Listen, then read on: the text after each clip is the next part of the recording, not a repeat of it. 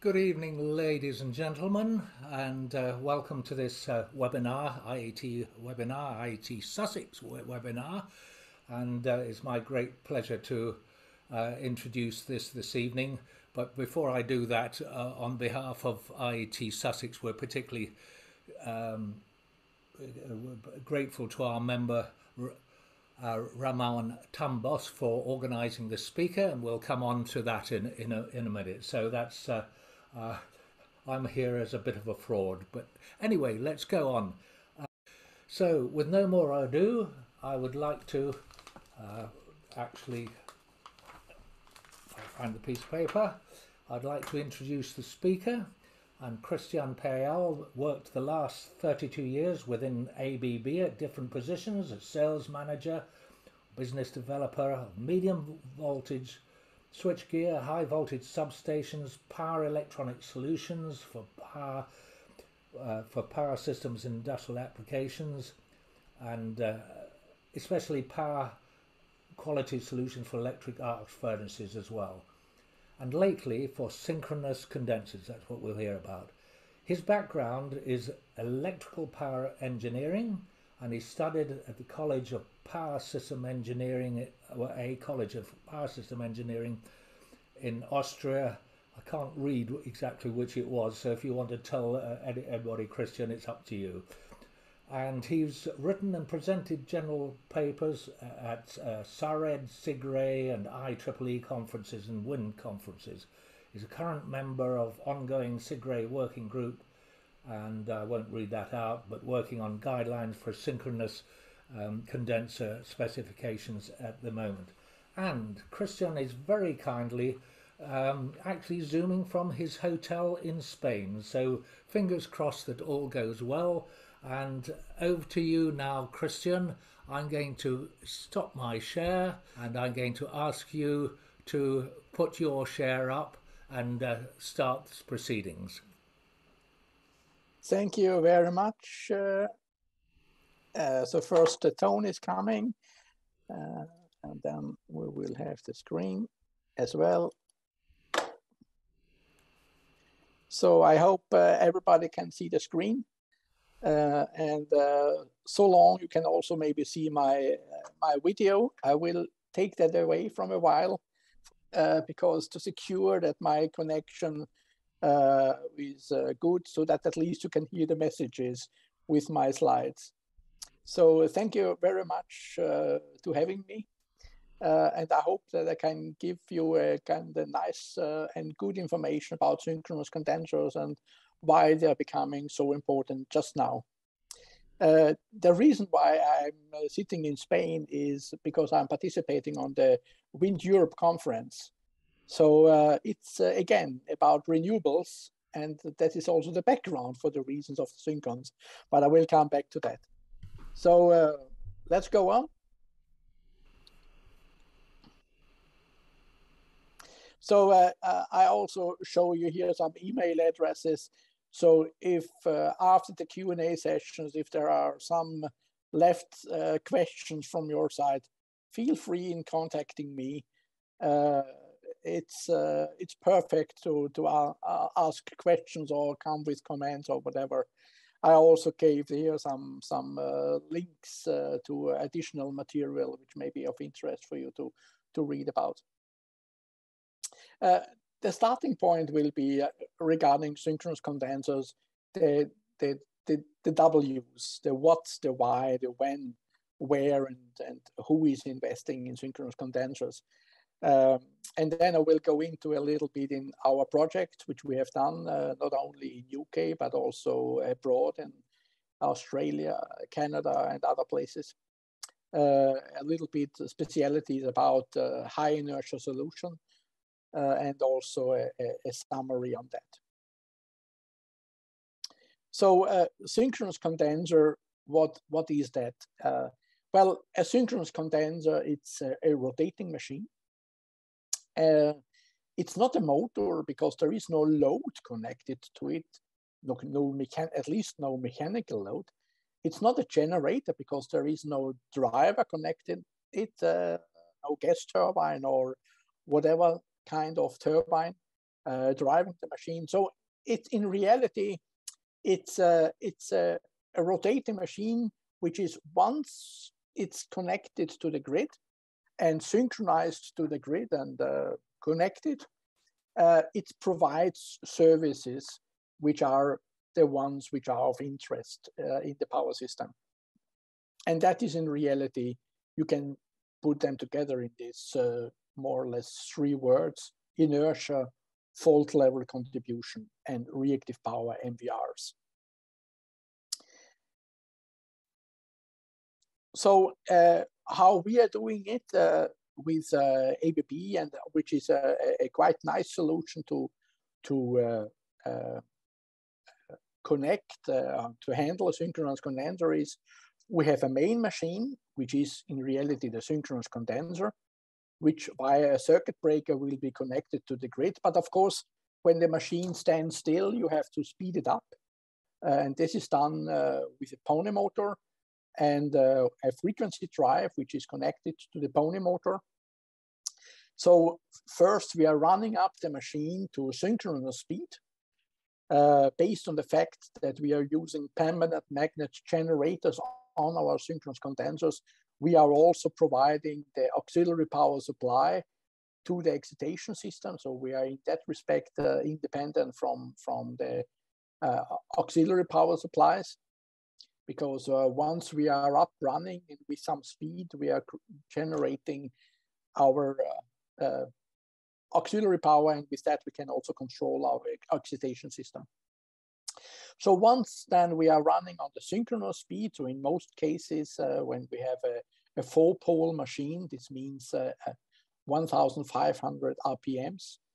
Uh, this is the, the, the selection of the synchronous condenser speed, which we have done at least for the IEC market. Then we are checking uh, if the, the synchronous condenser can be synchronized to the grid within with amplitude and, uh, and uh, frequency and uh, uh, phase angle. And then we are synchronizing with the closing the breaker to the grid so that it will be uh, the synchronous condenser then connected to the grid and is running synchronous with the, the, the, the power system. And in reality, then the, the synchronous condenser is fit for fight. That means that then we are able in providing the MVRs, that means reactive power in supporting the grid. Uh, we are there in providing inertia in case that there is uh, frequency variations. And uh, we are providing fault current contribution in case there is a fault in the grid, which needs uh, a fault current support. So, so why are these uh, synchronous condensers are becoming so important just now? Well, the, the reason behind that is our common goal that we are trying to re reduce our CO2 emissions.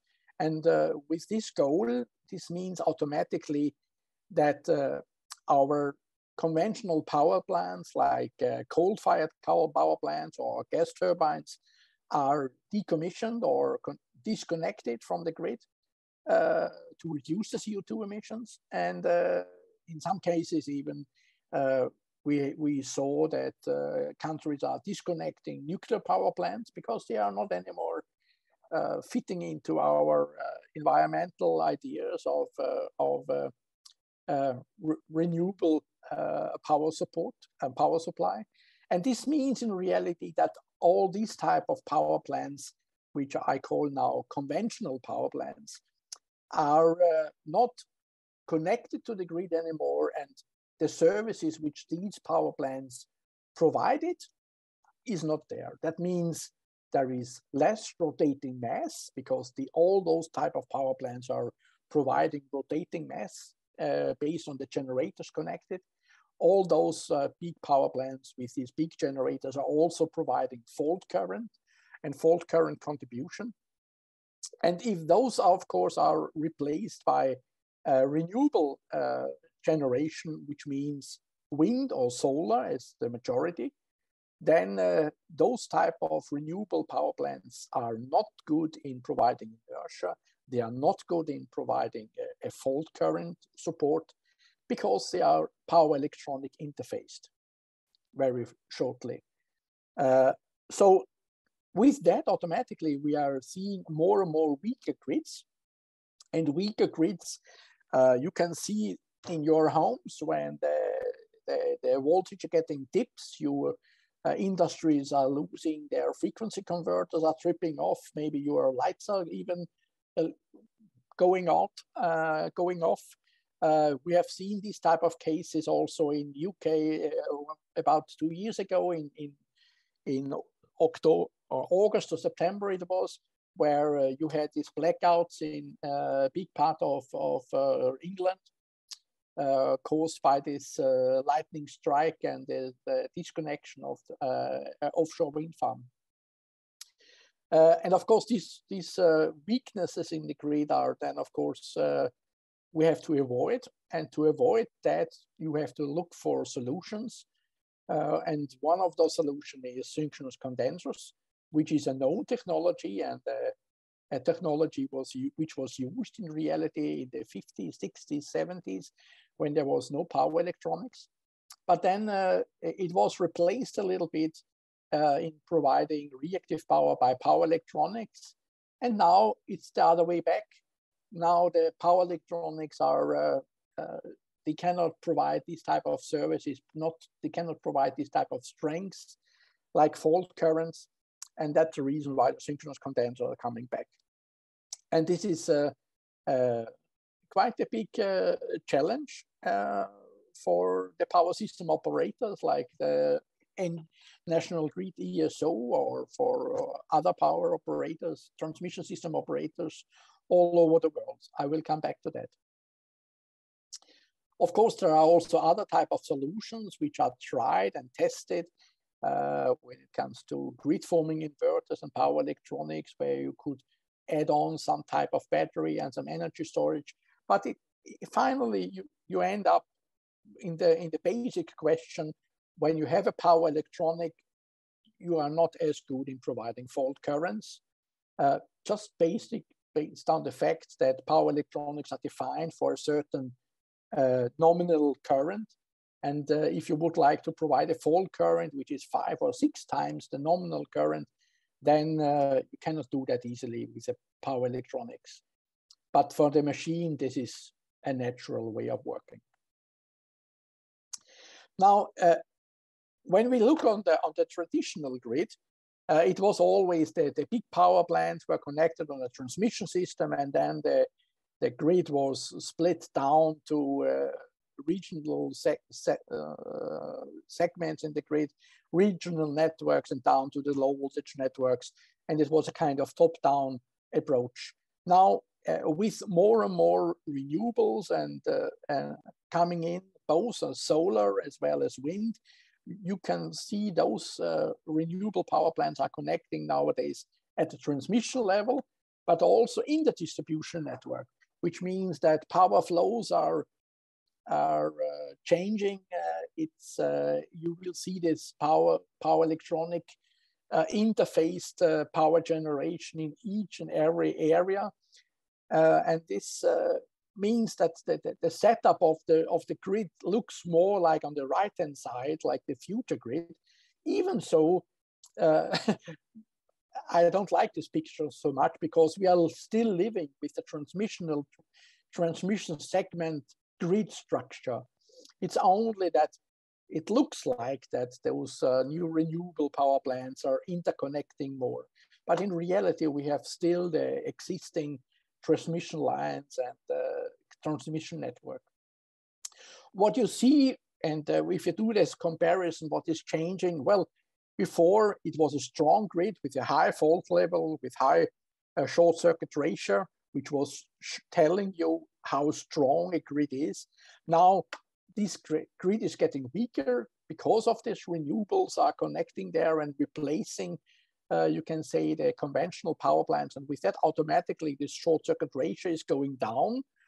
Now, uh, with the short circuit ratio it's going down, this is also interfering even the power electronics because the, also the power electronics are dependent on a, a strong grid because uh, if you would like to control the power electronics, they need also be uh, the, the voltage phasor or the the, the you can say the the uh, the way that you can control your your uh, firing of the power electronics is depending on the on a stable voltage. But if the voltage is not stable because of the weak grid uh, and the low fault level, then uh, you have a problem also with the, the the, the firing and the control of the power electronics.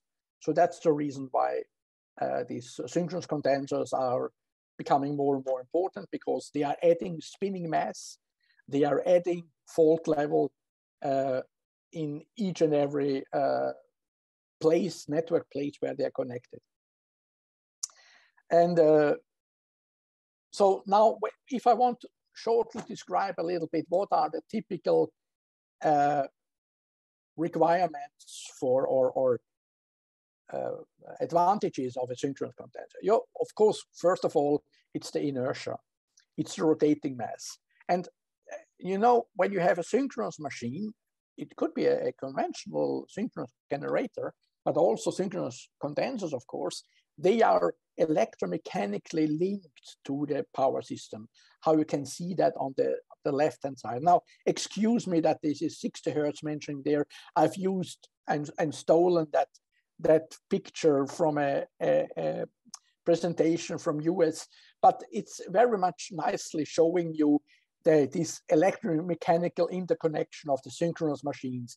And they are sitting there good together. And if there is, for some reason, a frequency variation caused by a trip of a transmission line or trip of a, a, a power plant, then this frequency of the whole grid will go down or go up. And the inertia will of those all those synchronous machines will flow into the grid or consume inertia or megawatt seconds from the grid in case there is an overfrequency on the network. Because in the, in, in the, the, idea, of course, for national grid ESO is to have a balance, as you see in the middle. And this balance, to keep the frequency balance is not anymore so easy because you have on one side the demand side, and this is varying, uh, and you have your variations there.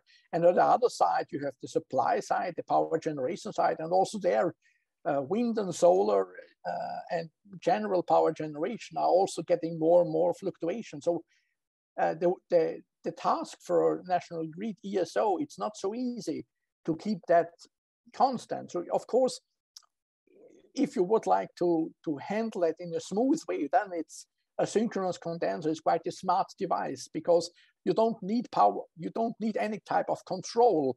It's purely of the electromechanical connection of the machine and the, the, the situation that he sees the frequency variation, he provides you the inertia. And this is, uh, I would say, a typical smart grid device. Uh, there is a lot of words discussed about something which is called ROCOF or rate of change of frequency.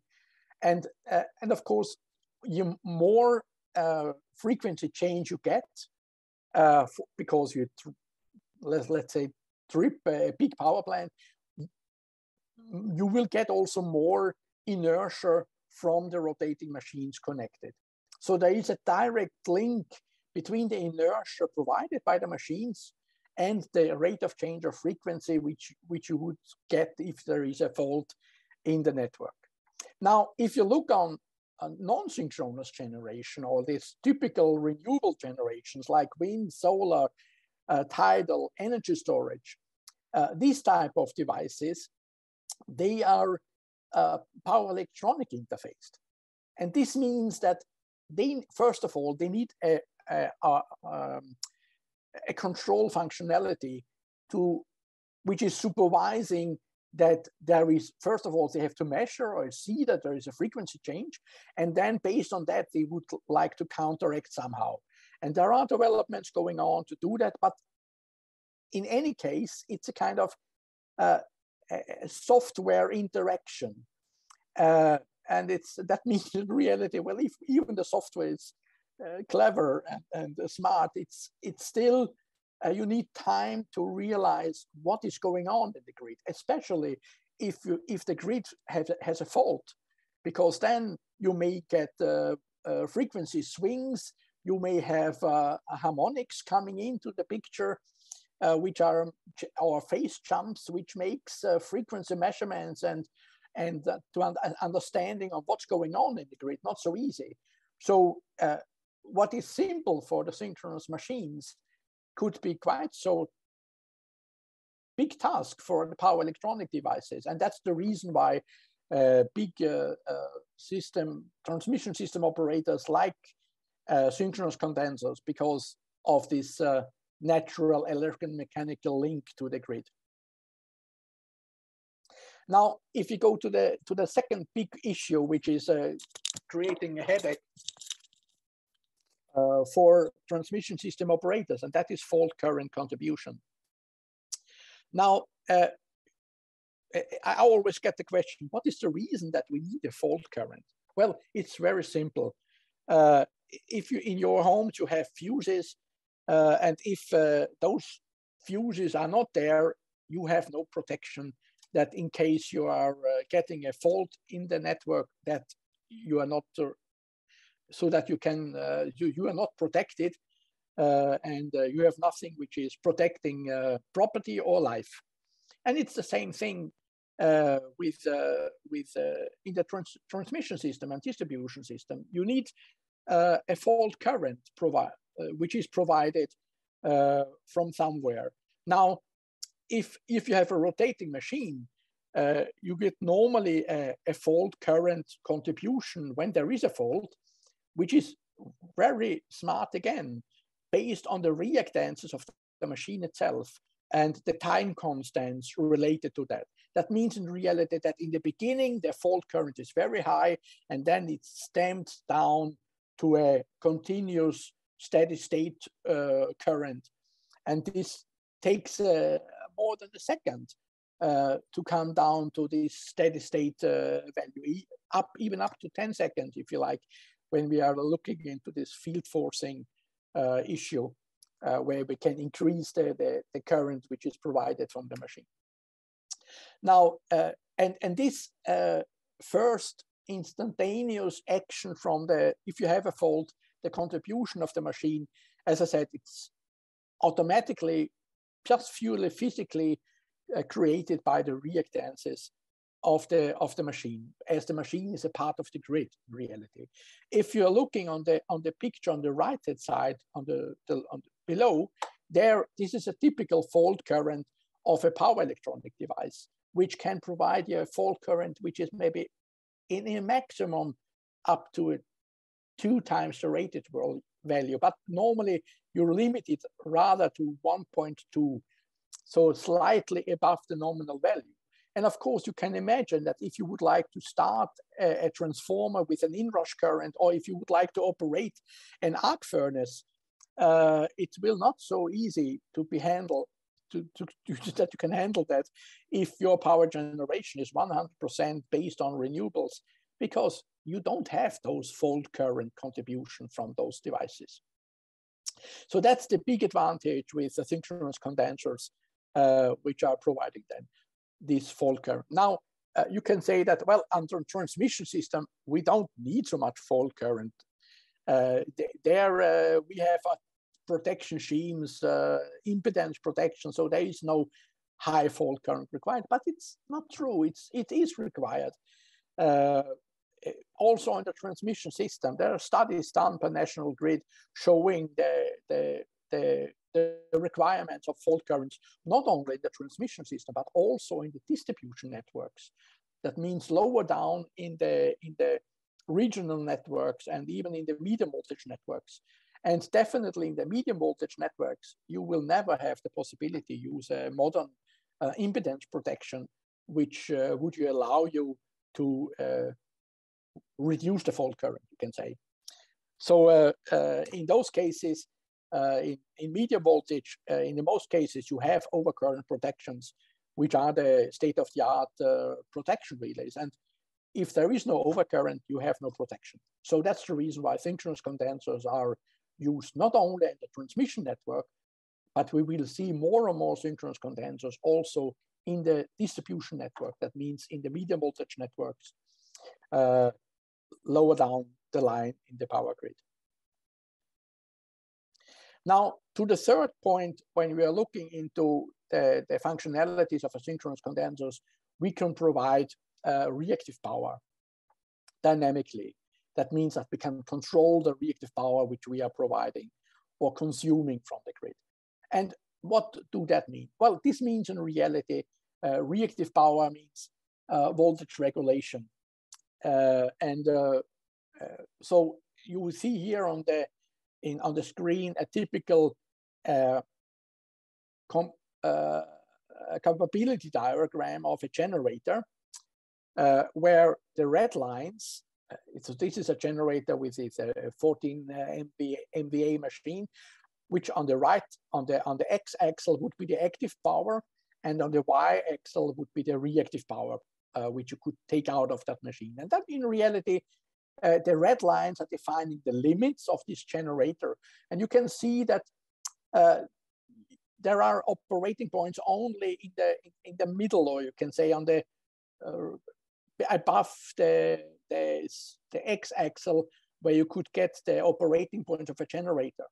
Now, for a synchronous condenser, the operating region is only at the blue line, that you can only control the reactive power uh, which you are consuming, and then we are lowering the voltage in the grid, or that we are pro producing reactive power, or, or from the machine side, we have we run the machine overexcited, then we are lifting the power in the power grid uh, and supporting the grid in the power grid. Uh, so, and that is becoming very important as well.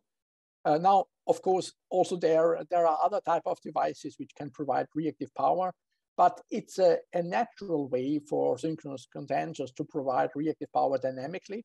They are not as quick as power electronics, but uh, nowadays people are thinking more in the direction as if you have too many devices which are very quick, you may also get interactions between those devices, and this, this can create a headache uh, for the ones who should control a voltage on a certain limit if those devices are extremely quick. So it's a, a synchronous condenser is maybe not as quick as power electronics, but can deliver the, the reactive power in a dynamic way. And that's the important thing. And without a lot of oscillations and, uh, and uh, problems to the grid. Now, uh, I put a slide here, which I, I only will uh, speak a, a, little bit about. Depending on the, the type of uh, industry or customer you are, you may have different type of problems where the synchronous condenser can support you. Now, of course, for renewables and HVDC links, uh, the, the majority of those, as I mentioned to you before, they are power electronics device or interface devices. And those normally require this uh, uh, a fault level contribution uh, at the connection point of those devices, even those HVDC links, because they need this uh, fault level for controlling the power electronics. And that's what, what PLL stands for. It means phase lock loop control, where you are securing that the, the, the control of the power electronics is, can be done in a good way. Because if this phase lock loop is stable, then the control of the power electronics is stable. And, and that is one issue for this power electronics device. They need the fault current and the synchronous condensers can provide it.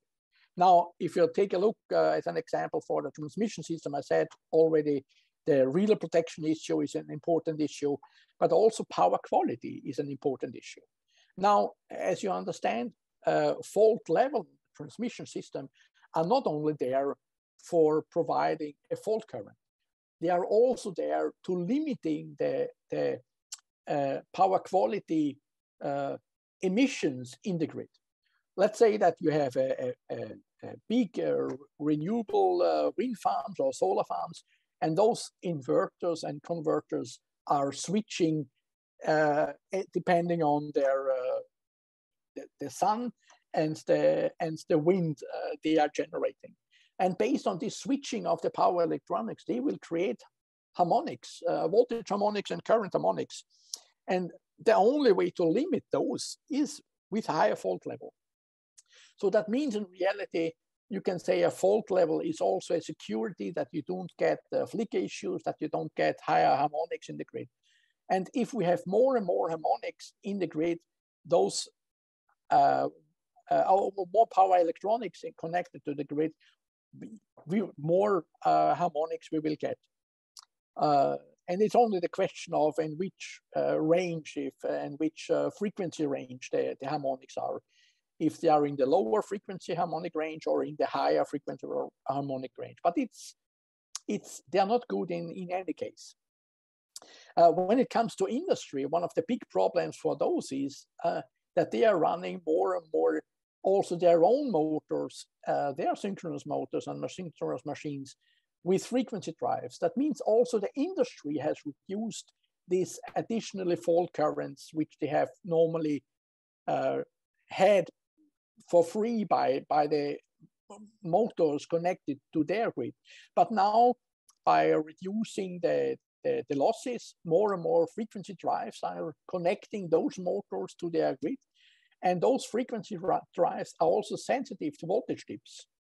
So that means if there is a voltage dip coming from the grid, this could create for the industry the headache that they are uh, uh, seeing this voltage dip as too deep, uh, which means that they will trip off the, the process. And of course, you can imagine what that costs for the process industry if uh, if you trip off because of a, a voltage dips coming from the network or created by a starting of a big machine. so wh where can you then connect synchronous condensers? Now, I, I mentioned to you in, in the beginning of the of this synchronous condenser area, I can say the, the most and the, the first ones who were really thought about that were the transmission system operator. That means a, a, lot of synchronous condensers are connected to the transmission grid.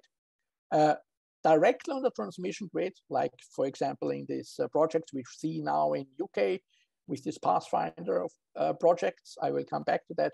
Or in connection with renewables uh, or in connection with existing power plants where they use the existing infrastructure and connect uh, synchronous condensers. We also see more and more synchronous condensers which are connecting to the industry to help the industry uh, to keep the fault level high to, to secure that they are not running into problems when they see a voltage dip from the network, because we will see more voltage dips based on the change uh, from uh, conventional power generation to uh, renewable. We will see more voltage dips and voltage variations and even frequency variations. Now, asynchronous condensers can help and protect the industry uh, especially a good example of a typical example about that is mining industry, which very often are in the, in the remote end of the, of the grid, where we have weak, uh, low fault levels, and with that automatically the risk of voltage dips are bigger. But we have also seen now more and more synchronous condensers connecting to the to the medium voltage network and the distribution grid, because also there the, the distribution grids are uh, getting weaker. Uh, some cases uh, they would like to run distribution grids even as uh, uh independent uh, power islands where they get their renewables providing the active power. But then when they disconnect from the grid, there is nobody provide the fault current. so they need synchronous condensers improving that, providing the fault current in these islands, power islands or, or load islands, you can say, uh, and uh, helping uh, in keeping the voltage stable and keeping the, the fault current available so that the protection system can run in a normal way. Uh, now to these uh, examples, I have uh, international project. I speak about three countries. First, a little bit about national grid very shortly about uh, Australia and uh, Spain as uh, how they are thinking in this respect of uh, applying synchronous condenser in the grid. But let's go to UK first. Now, uh, National Grid ESO has started up uh, with these stability pathfinder projects. the first project was, I think, two and a half years, three years ago before, where they announced that uh, where they asked for uh, additional inertia, especially uh, in, in across the whole Britain. And this was in reality a project which was uh, pinpointed for rotating machines, uh, where they wanted old conventional power plants to move over to be syn becoming synchronous condensers. Now, in reality, uh, some of those uh, were also uh, converted to synchronous condensers. Um, now I have forgot the names of those plants, but they, I, I, could come back to that and can provide you some data about that. But also they bought also a number of uh, synchronous condensers, uh, providing inertia, this means rotating mass into the grid, which is helping to, to secure and provide time for National Grid ESO to control the frequency in a better way. Then the next, and, and there in the first phase, uh, ABB was also successful together with uh, Statkraft, uh, where we have one project which, which is called Lister Drive, uh, where we delivered the synchronous condensers with flywheel, uh, which is uh, additionally providing this inertia, uh, even with a additional rotating mass, which we call flywheel. The next project, which is just now ongoing, uh, and the tender result I think we see soon, is for Scotland, where there is both uh, fault current contribution as well as inertia required. Uh, again, it's uh, it, this uh, fault current is very important for national grid. Now, this in this tender, they also opened up for these uh, power electronics devices which is, I call uh, grid forming devices.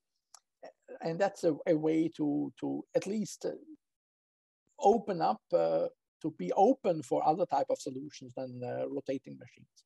But I think the majority of that project, uh, Pathfinder 2, will also be rotating machines.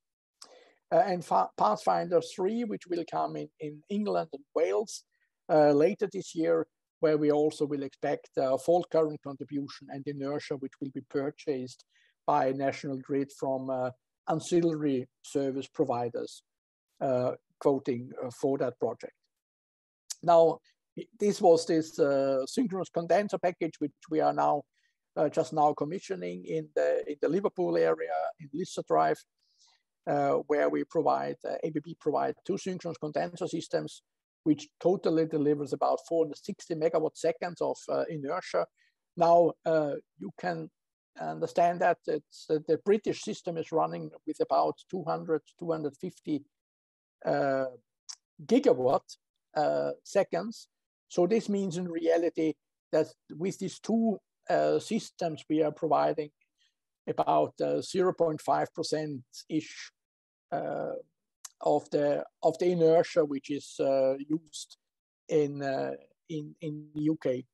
And uh, we also provide, of course, the, the need, the requirement for auxiliary power systems for synchronous condensers, the SCADA systems, and the, and the connection up to the step-up transformer to the national grid's uh, 400 kV substation.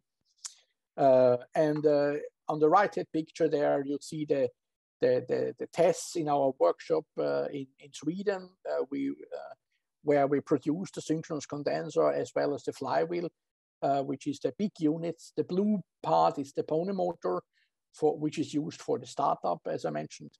And this yellow parts are the couplings in between, so that we have one mechanical string uh, and that was the, the, the run-up test of the rotating uh, string so that we could uh, show the measure the inertia as well as uh, the, the run-up time for that installation. In Australia, uh, uh, well, shortly, there they have the situation that they have decided to have renewable energy zones uh, where with National Grid in, in, in UK, we had these uh, ancillary service providers which could act wherever in the grid. Here in, in Australia, they have these zones, these green zones, and within these green zones, the transmission system operator is responsible. But outside of those zones, uh, the, the developer of renewable must bring their own inertia and fault current contribution. That means synchronous machines. Uh, so it's a, a, little bit different way of approach. uh, how to secure and, and get the, the, the, the ancillary services like inertia and fault current contribution and the MVRs. Uh, this is a picture uh, where uh, from Darlington Point, it's uh, from a, a British developer, Octopus, Uh, who is uh, uh, developing these renewable projects in, in Australia. And there we delivered two synchronous condenser. in this case, it was air-cooled machines providing fault current and uh, MVRs and inertia to the grid. Uh, in Spain, uh, there they have a different approach. there they look on the on the whole network and there they can see that in some nodes or points where you are connecting to the grid, the renewable uh, generation, these grids are very weak and they define that okay at that point like let's say a substation called Abandon uh, there the fault current is such high this means that you need additionally uh, uh, fault current and this should be provided by the developer for the renewable plants. Otherwise you are not allowed to connect anymore. So it's uh, also another way to to to approaching and to get this uh, fault current contribution and inertia to the grid. But in general, you can say that following statement is very much true. If you have more decentralized power generation, that means solar, uh, wind, this means also that you have a decentralized power system approach, where you have also this uh, ancillary system support like inertia and fault current, as well as voltage variation, which was also before a very decentralized service. Uh, and this type of service is good if they are also decentralized. I would also add there, uh, if we take the example of the bad situation going on in Ukraine, where uh, big power plants are closed down by, by the aggressor. Uh, and of course, a, a decentralized power system there would also be helping to have a more secure power supply rather than a, a, centralized power system where you have only big power plants, like nuclear power plant, which is the case in uh, in uh, in Ukraine. So what is ABB doing? Well, as ABB is known as a product supplier as well as a subsystem supplier, where we are providing these synchronous condensers in packages, uh, and we can also integrate those even to the to a plant level together with uh, uh, SCADA systems and all the medium voltage and low voltage auxiliary power supplies, uh, transformers, if you like, so uh, needed. So we try to make packages, and it's more the question of where the customer would like to have his complexity uh, rather than uh, ABB's capability to provide the system.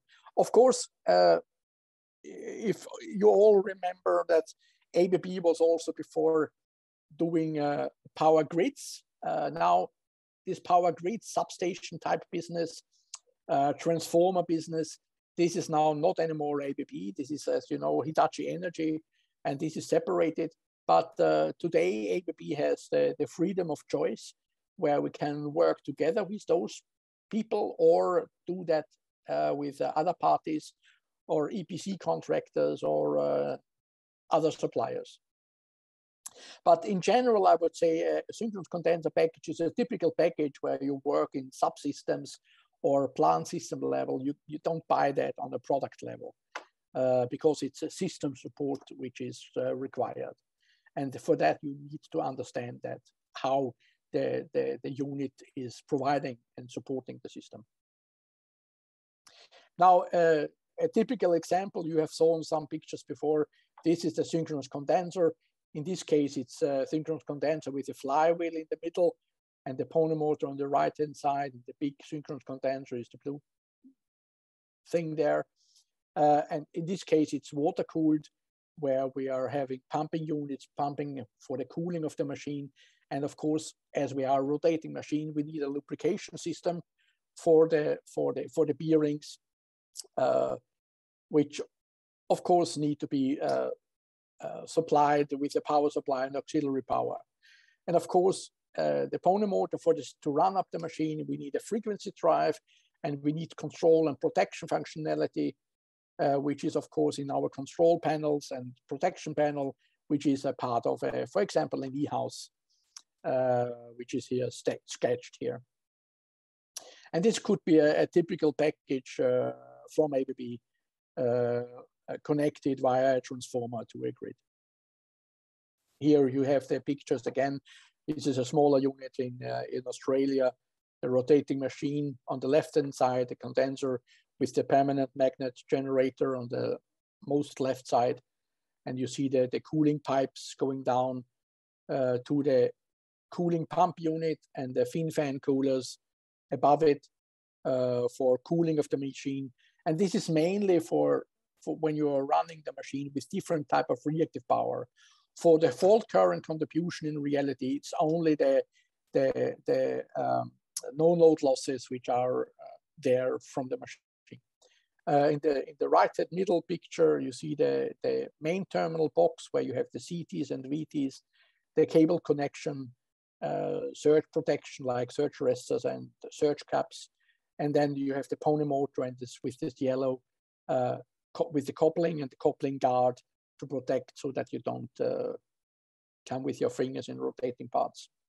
And then on the right hand side, you have again the pony motor and then the lube oil system with the lube oil tank providing the lubrication of the of the of the bearings. Uh, a number of references just to give you a, a feeling which size don't we speak about? Well, here you, it's a 60 MVR machine providing about 100 megawatt seconds in inertia. It's about the machine and the pony motor. It's maybe about six, seven meters long. Uh, you see the, the, the, the, the cooling system is using more space and really with the pumping unit than the, the synchronous condenser itself. So if uh, if you have a, a, noise requirement, normally a water cooling system is better. If you have uh, no noise restrictions, then of course an air cooling system would be very nice because uh, then you have uh, much less space requirements uh, and you can make it more much much much more compact. Like in this case here, you have these two units uh, air cooled and it's only the air cooled unit uh, and then the, the, container for the, the, the, the, drive and the medium voltage and low voltage auxiliary power supply, which is the, taking quite uh, also a lot of space. And of course, the, the step up transformer. now here are a few pictures. Of course, you can have that also installed indoor.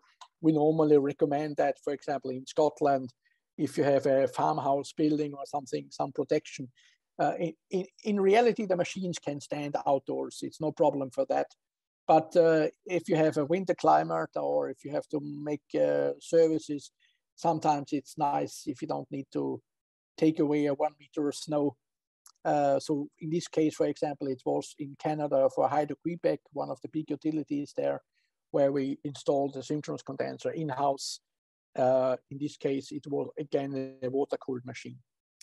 Um, another project uh, in Australia where we use the, the cold air to cool down also the machine.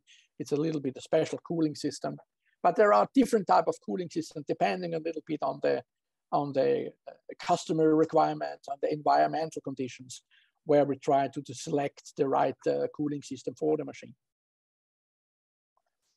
Now to the specialities of high inertia. Uh, as I mentioned to you, uh, inertia, it will, it's uh, becoming a very important po point. And of course, one way of, of doing it is this would be a, a big two-pole machine, which may be a, a, two times the length of that, what you see here. Uh, of course, then you could get with the higher speed and the, the, the, the, the weight of the two-pole machine rotor, you can also get a quite high amount of inertia. But uh, we have seen more and more that that when you have a big machine, you have also high losses.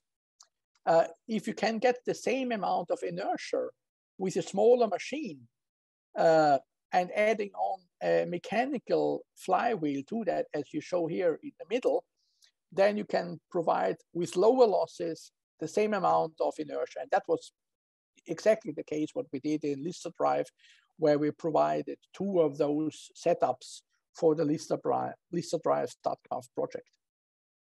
And it's a good way because you are reducing also the losses of the of the installation.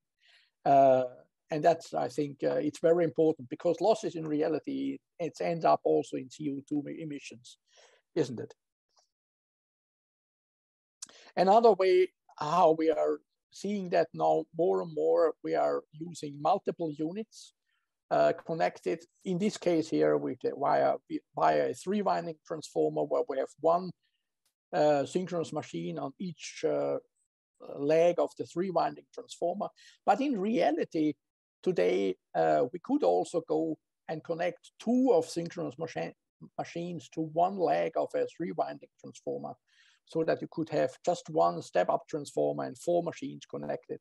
And this is be because we have a special solution of limiting the fault currents in down to our machine and to allow a higher fault current down to our machine, uh, which is then uh, required to, to do this type of solutions. Another project which was installed in uh, in uh, uh, in the Phoenix project in in uh, in UK with Scott, Scottish Power. this was a, a, project which we did together with our colleagues from Power Grids, where they delivered a STATCOM solution which was connected to one leg of a synchronous condenser of, of a three winding transformer and the synchronous condenser was on the on the on the other leg.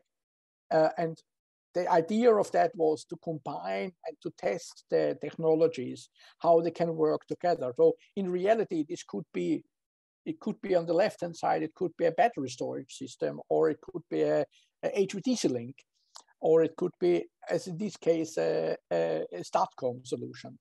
Uh, and on the right side, how they can then work together with a synchronous condenser.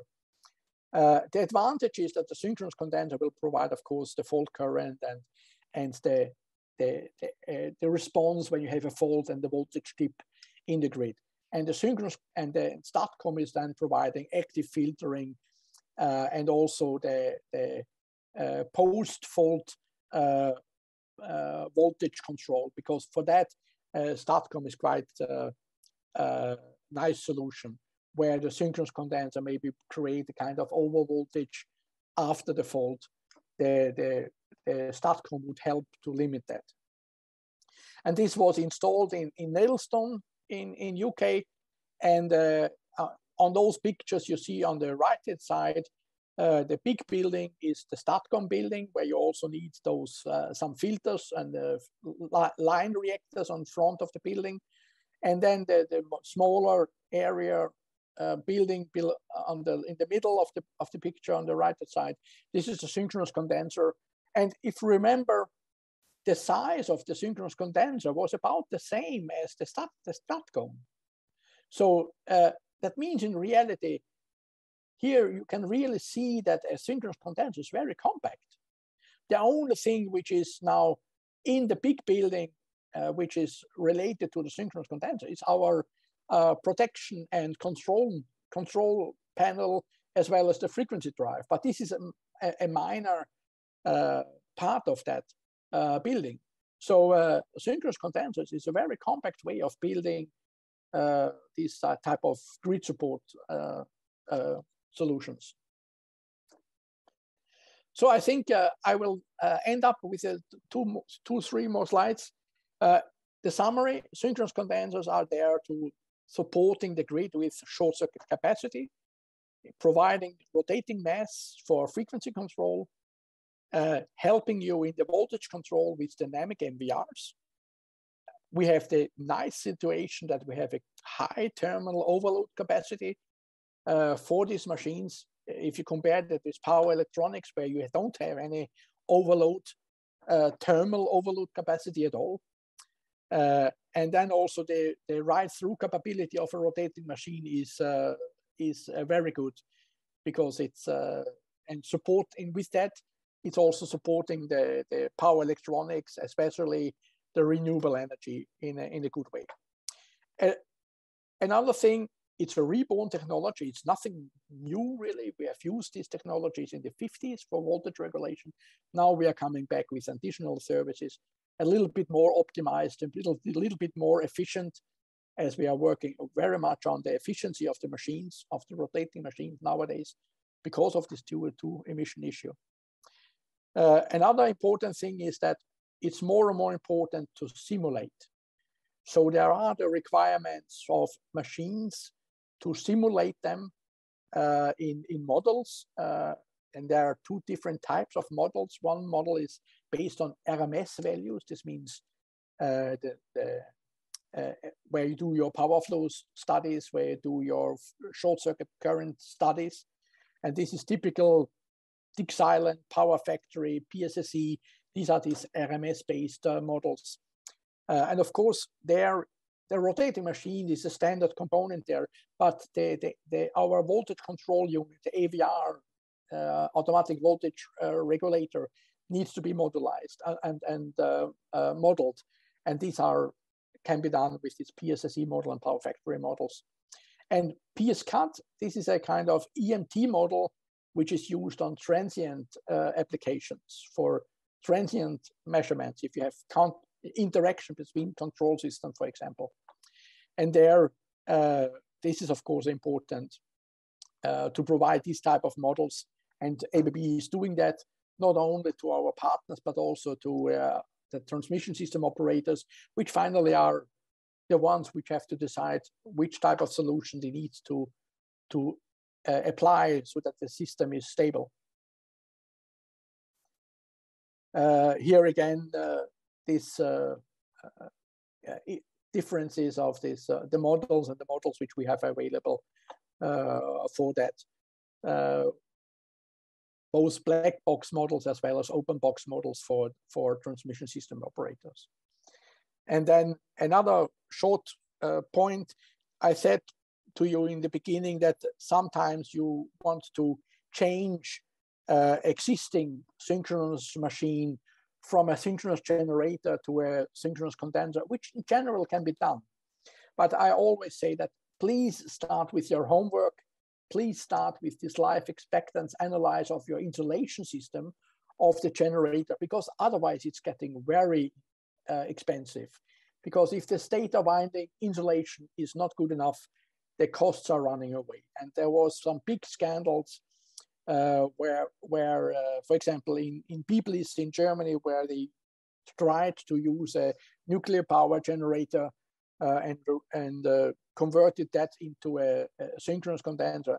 It was first a political scandal, and then after five years' time, they closed it down because it was econ- economic, economically not feasible to run these big machines uh, more or less uh, on, on no load conditions.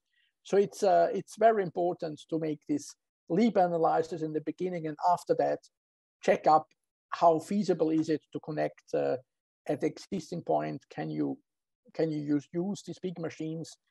Is are these losses of these big machines are not too big? Is it not better to use a, a optimized synchronous condenser? But it's sometimes it is worthwhile to go for that, especially when when you want to uh, connect at an existing power connection point, because otherwise it's get also tricky to build a new new site, and this is can take years to, to get the allowance and the approvals for different type of connection agreements. So sometimes it's worthwhile to think to connect uh, synchronous condensers via existing uh, infrastructures, you can say, or connection infrastructure. We are everywhere, not only in UK and supporting our partners. And that was my presentation.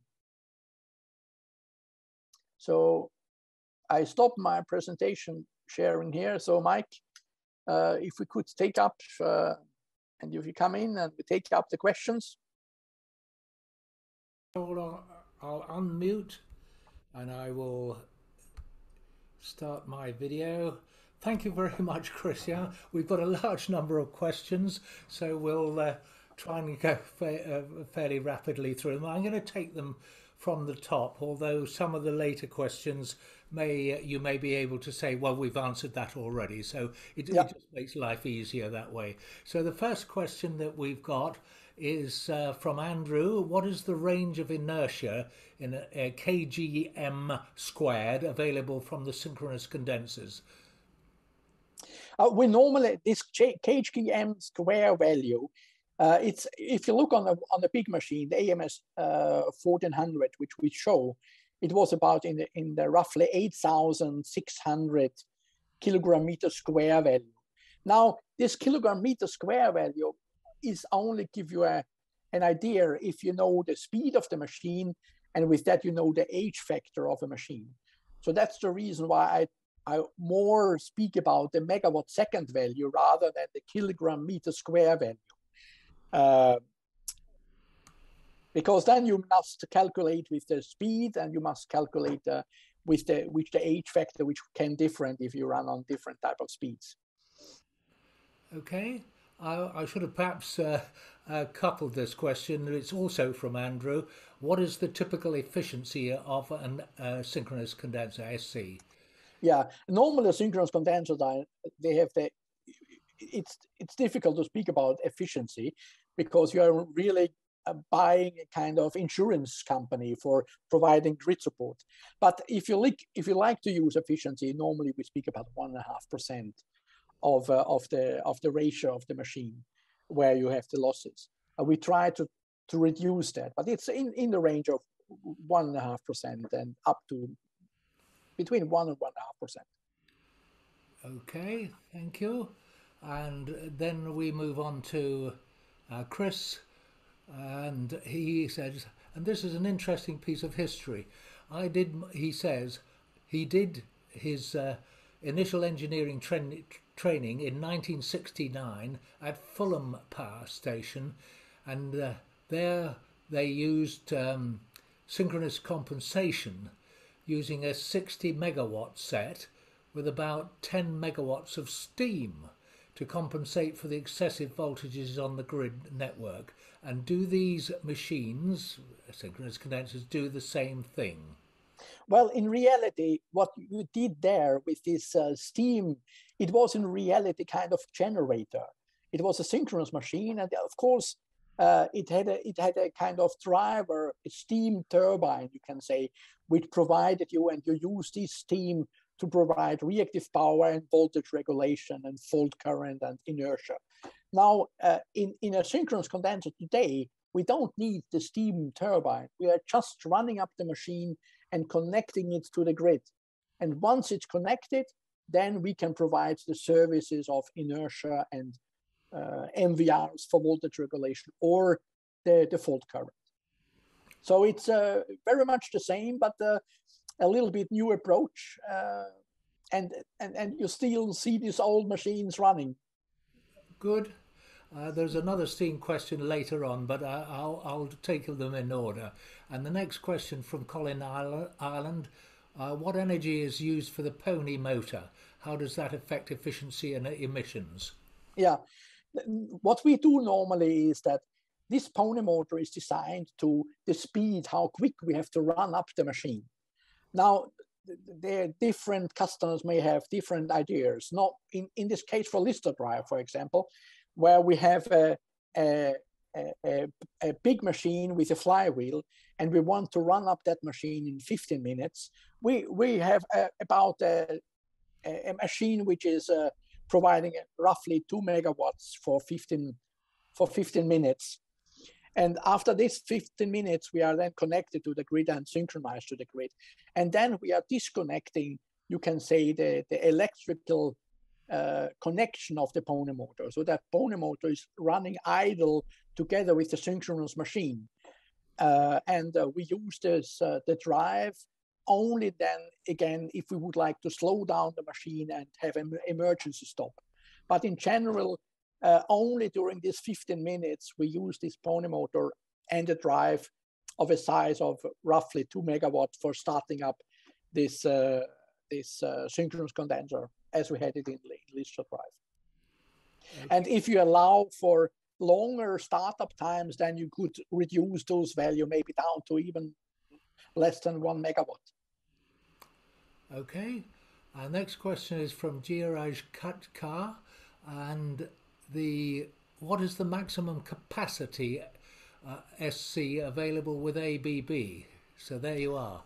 Uh, well, uh, when you speak about capacity, uh, the, the, issue is that, as I said, you have to think about three things in the same time.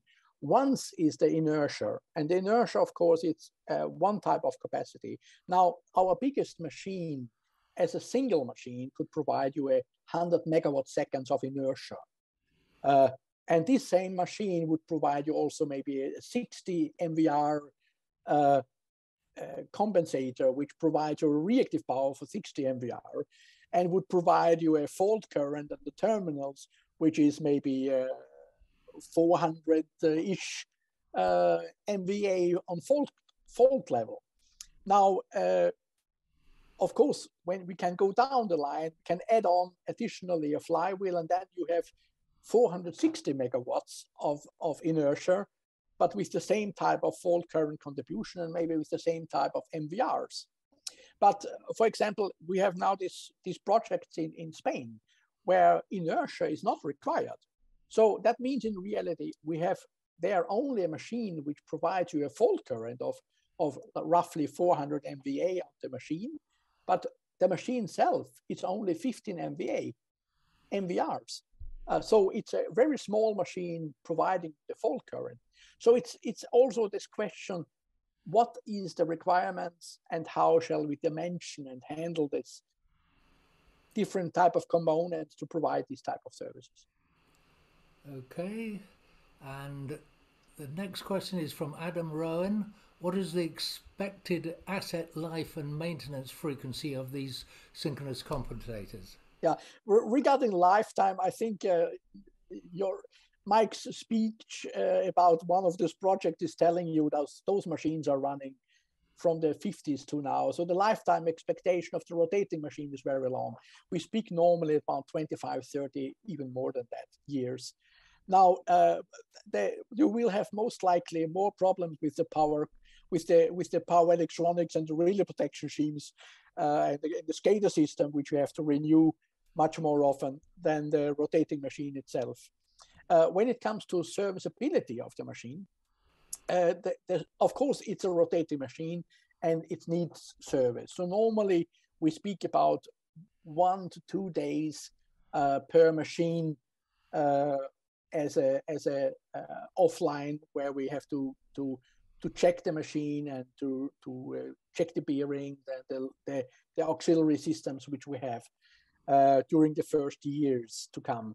Up, up when we are in the year 12 ish somewhere, uh, we then make a rotor inspection, which is also today, it's then it takes about a week to take out the rotor and to crawl in and to inspect the insulation system. It takes a little bit longer time, but then it's uh, it's between 12 and 15 years.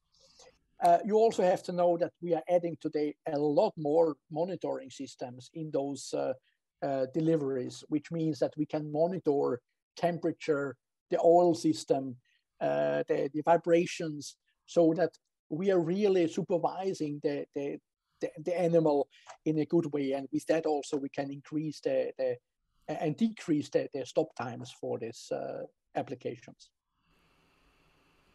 Okay, another question from uh, Katkar, and that is at a certain point of, of connection with the grid, uh, if given a choice uh, to select SC and STATCOM, what would be the cost difference? They both save the same, serve the same purpose except inertia, which you get from the SC. Yeah, I would say there are there are two to, to, correct one thing, uh, STATCOMs cannot provide fault current. So uh, both inertia and fault current is the unique services by the synchronous condenser.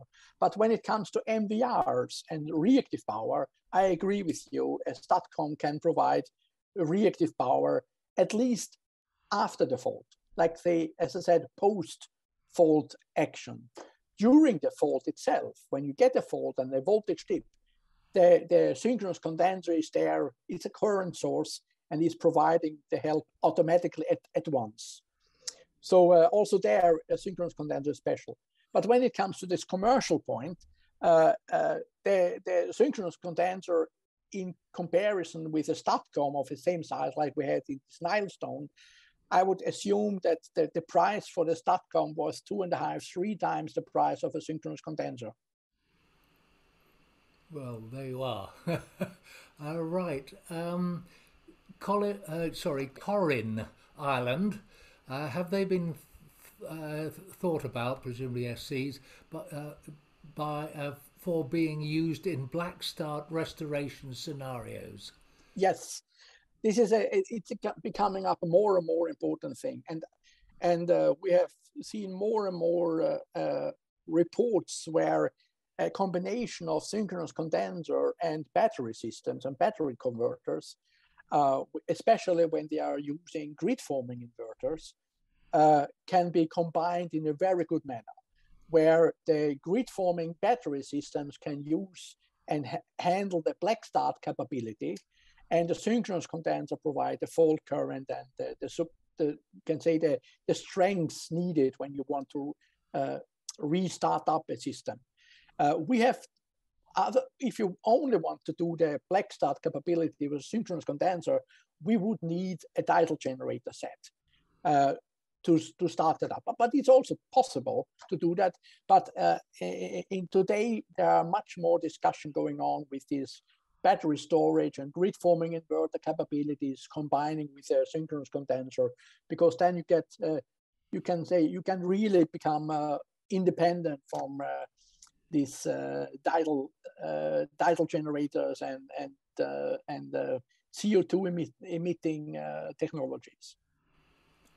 Okay, then uh, the next question is from Tim Guy. I take it that SCs hold energy if the grid trips, and are there any safety implications with this, i.e., during repairs, etc.? Mm.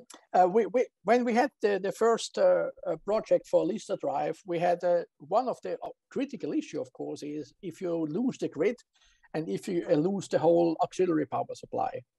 And, and, and, you can imagine, well, the reason behind that of the criticality of this is that the, the, the, the, lubrication system must still run. So there, you need some power providing you with some uh, power to provide the pumps bringing the lubrication to the bearings.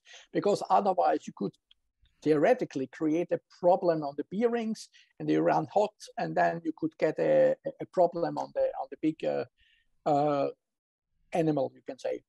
Uh, so there it was a lot of work how to to create a, a system where we have uh, uh, auxiliary powers available for that in reality, theoretically, you could say that, well, uh, if we make a, a, little bit more automation on top of that, we could use our own rotating masses also in generating with the permanent magnet generator and the drive system, our own auxiliary power.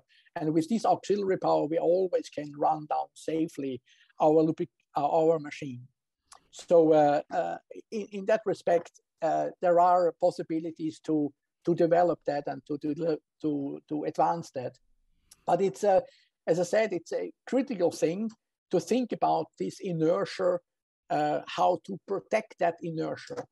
Uh, I can mention to you that um, theoretically, those big flywheels which we are using, theoretically, this could they could damage inside. You could get cracks, maybe not today, but maybe after 15 years of operation. And then, of course, these cracks could create a, a problem and they could just fly away, which is, of course, we don't want to have that uh, flying around in, in Liverpool. So uh, we created a kind of a protection for this uh, case where we could, could get a fault, which is normally not there, but it's at least where we have a protection about that to secure that this is captured. Now, in the next generation of flywheels, we have that already enclosed inside of the flywheel itself by using a kind of stator arrangement protecting this inertia to keep in, in place. And then the, regarding auxiliary power systems and lubrication, we have these uh, emergency tanks providing the, the oil for the lubrication systems. So uh, we have uh, uh more developments coming up there for a more secure uh, synchronous condenser. I'm going to uh, try and um, relay a question from further down the list, which I, am not looking at at the moment, just using my memory. And that is, can you make flywheels out of concrete to make them cheaper and cast them cast them on site? Uh, I, I think I think a steel arrangement is quite nice. Uh, if you if you would make to do it uh, with concrete, uh, concrete it's a quite tricky thing uh, because you are then it's an environmental issue. If you have uh, salt water and other issues, you have uh, you have to do this in a good way. So we thought a, a, a steel arrangement is a, a, nice solution for a flywheel. On the, se- the second issue is also that we have to think about uh, sustainability. And uh, once upon a time, maybe not tomorrow, but maybe after 40 years, we take away that flywheel and then can smelt it down in one of the arc furnaces nearby and you can recycle it to something else. For concrete, it's not as simple. You have uh, you're creating uh, another issue. Okay, right. Then we have a question from Mike Sims, and uh, again using my memory on the chat, uh, Mike Sims said he's also in Spain.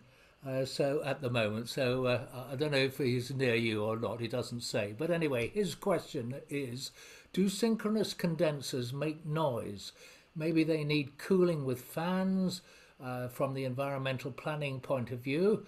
So if SCs were, uh, particularly if uh, if SCs were to be installed nearer houses, would, is that an issue? Yes, of course. You have to think about that. Uh, that's the reason why I mentioned that there is different type of cooling systems which has more or less noise impact. But in, in all cases, a rotating machine is creating noise. Uh, by the way, also a STATCOM is creating a noise because uh, the line reactors, the reactors are creating noise as the harmonics pass by. So it's also there. But uh, in the worst cases, we have to build in a kind of enclosure to protect against uh, noise, noise uh, protections, uh, which is possible to do. as I said, we have done this indoor arrangements for this uh, tougher environmental climate situation. It, it's it's a, a, noise protection as well. Okay. Uh, next question from Tim Guy: Will there be any additional cost? Uh, as there is, um, I'm not t- uh, technically in the area, but as with excess spinning in inertia, there is a. Gu- he says there's a government taxation, I believe. Is that is there some taxation on that or? Uh, I don't know what what, what means with taxation. Normally, uh, spinning inertia itself is functionality uh, which is wanted. Uh, so I, I cannot relate that to a kind of taxation. Uh, I would assume that in some cases uh, in some countries, uh, when customers are connecting to the grid, they are now cha- they are requiring or delivering reactive power, and this reactive power exchange is today already a taxation issue because today uh, reactive power must be produced somewhere also. Uh, and uh, means in reality that you have to pay for that reactive power as well, which is a kind of uh, taxation. If I understand the question correct. Okay, then there's from uh, Gihan Abeya uh, and he says, Good evening, Christian. What is the uh, largest MVAR rating of a synchronous condenser plus or minus reactive capability that has been commissioned to date? You needn't necessarily speak about ABB. Well, well, uh, when you speak about ABB, then our size it's roughly rough 70, 80 MVRs. It depends, of course, on the environmental conditions, on the temperatures and the cooling possibilities. Uh, this was it's the biggest in in in UK we are using machines up to 67 70 MVRs Now, uh, in, in relation to other uh, suppliers, we are relatively small. Of course, there are machines available up to 300, 400, 500 MVRs. Uh, but then the question is, is that amount, big amount of MVRs requested uh, at that point of the grid? Uh, so it's, yeah, so, so we are, we are, we are delivering the, the, the small, the big small animals uh, where there are suppliers available who can deliver very big machines, uh, providing a big amount of uh, MVRs and uh, and uh, fault level, but may, not necessarily inertia, because uh, those big machines are using another type of they have cylindrical rotors, which is very little inertia on those. So in, in our machines, we have salient pole machines, which is are very good from uh, inertia point of view. Right. Um, th- there's this uh, message just come up from Tim uh. I, I can't, but but there, there was a case of, of taxation which came up uh, on on the previous question uh. But but I, I can't I can't speak to it. I'm just saying he says there was a case. Let's get back to Gihan because he has a second. He or she, I'm not sure which it is, uh, uh has a, um, a, a second question. Without the turbine train, the actual inertia of the spinning mass is smaller. So when compared to a traditional steam turbine generator or gas turbine generator mm. arrangement, how does the inertia constant compare? Yeah, uh, that's the reason why I don't use the inertia constant. In reality, if I if I would give an inertia constant of our machines, that would be roughly one, a h factor of one. But as I said, and if you if you look compare that to a steam turbine or hydropower plant or a where you have, have h constants of two up to five, depending on which type of uh, generation it is. Of course, those H constants are higher. But as I mentioned to you before, for us, the important thing is to not the H constant, because uh, we try to, to create the megawatt seconds value, which is the important thing, uh, which is the, the thing which is important for national grid to to counteract frequency variations. It's not the H factor which is doing that. Uh, and it's not either the, the kilogram uh, meter square value. It's the megawatt seconds values which are important.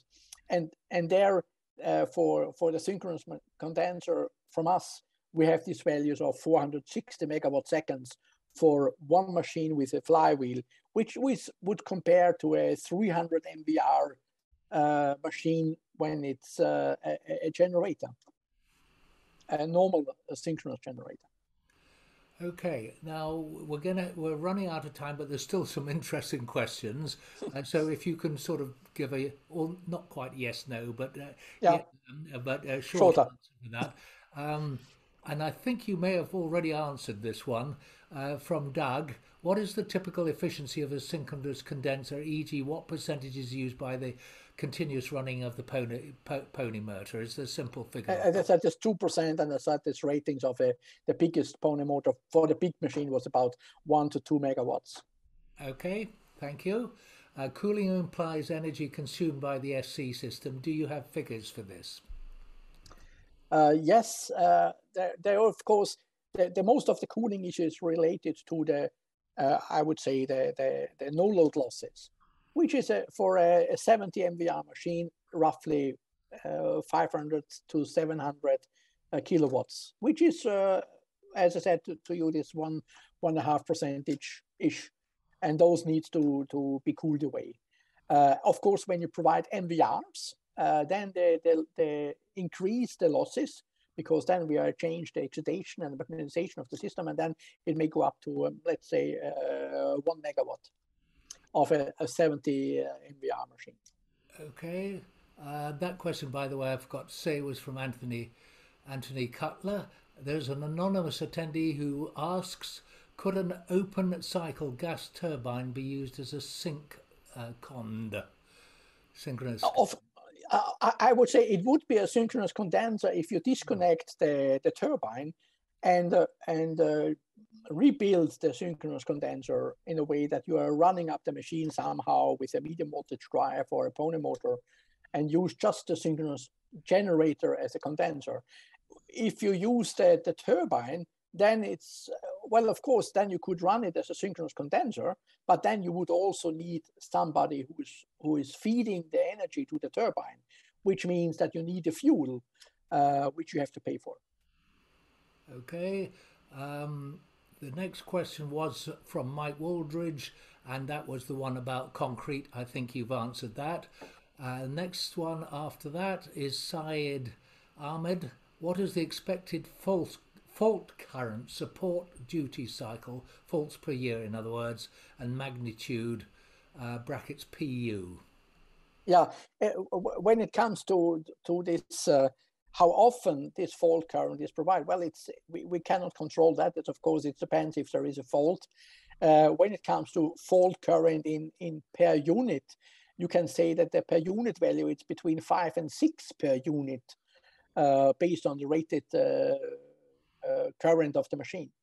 So, uh, and then of course you have a, a, a peak value and you have this uh, subtransient value and transient value and reactance value, which decline as I showed in one of those diagrams. Okay. Um, next question quickly from Mohan. Can retiring generators be modified to perform similar function as a synchronous condenser? Yes, but do your homework first. That means check check your leap analyzer. and, okay the answer is yes okay mike waldridge again what is an optimum ratio of uh, uh, of capacity for sea capacity for say an all solar and wind supplied network?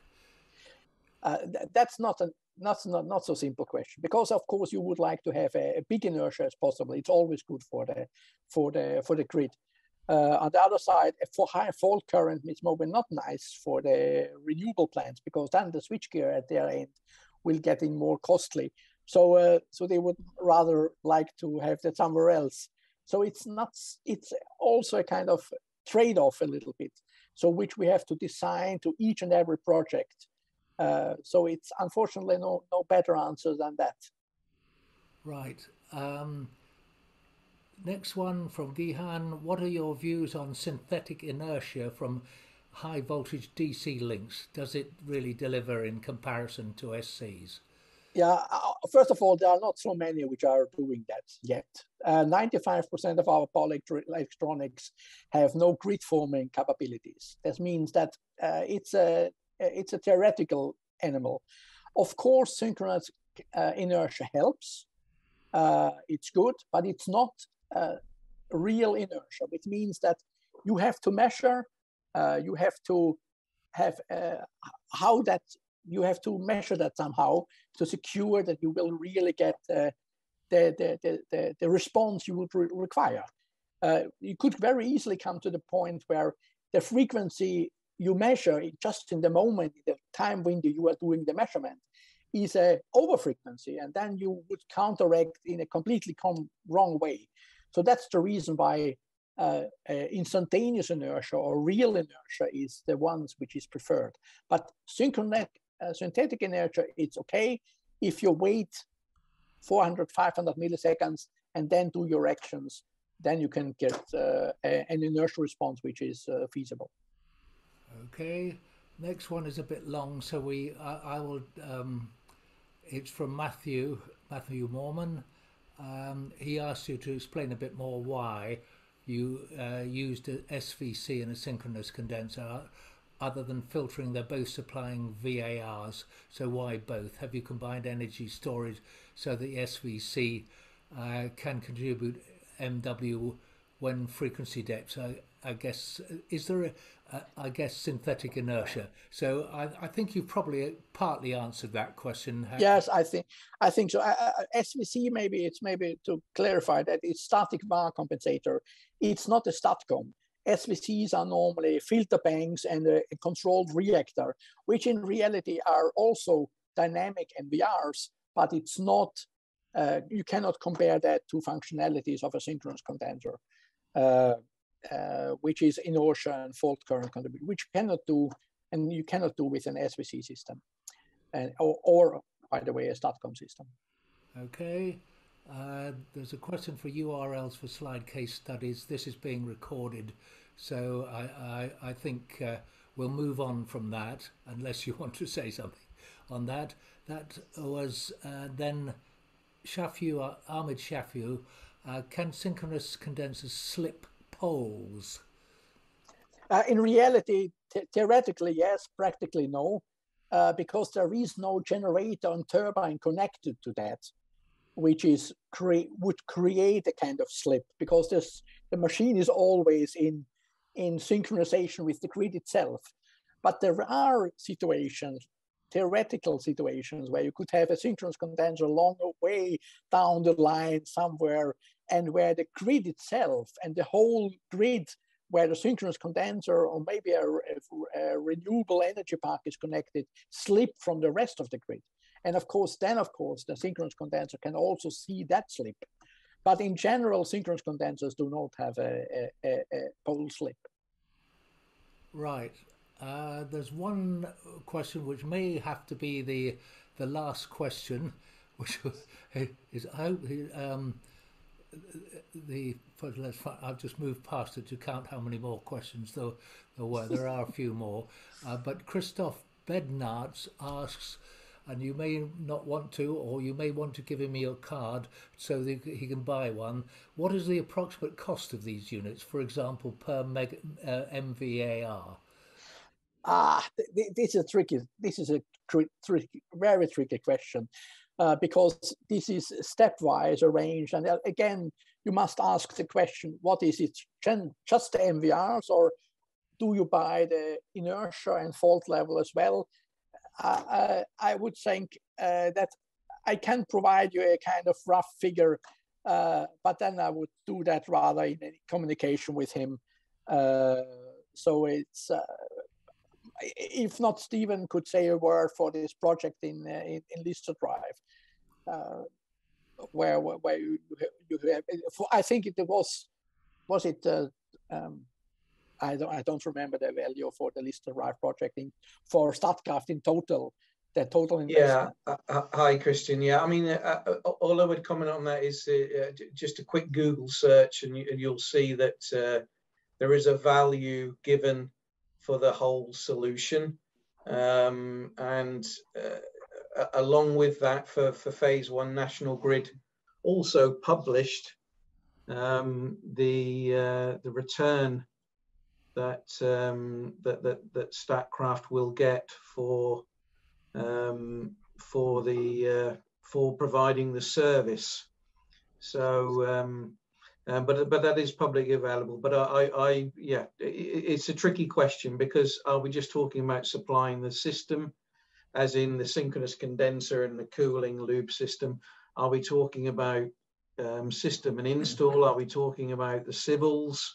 Uh, and land and everything else, uh, almost delivering it as a turnkey. And and there, um, th- there is a, a very wide scope of pricing.